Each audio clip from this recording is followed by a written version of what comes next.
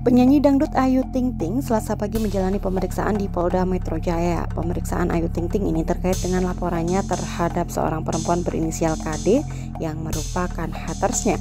Ayu Ting Ting tiba di Polda Metro Jaya sekitar pukul 11 lebih 9 waktu Indonesia Barat dengan didampingi pengacaranya. Saat dimintai keterangan oleh media, Ayu Ting Ting memilih bungkam. Sebelumnya, Ayu Ting Ting menunda jadwal pemeriksaan karena berhalangan hadir. Ayu Ting Ting melaporkan hatersnya berinisial KD ke Polda Metro Jaya pada 20 Agustus lalu karena telah menghina keluarganya.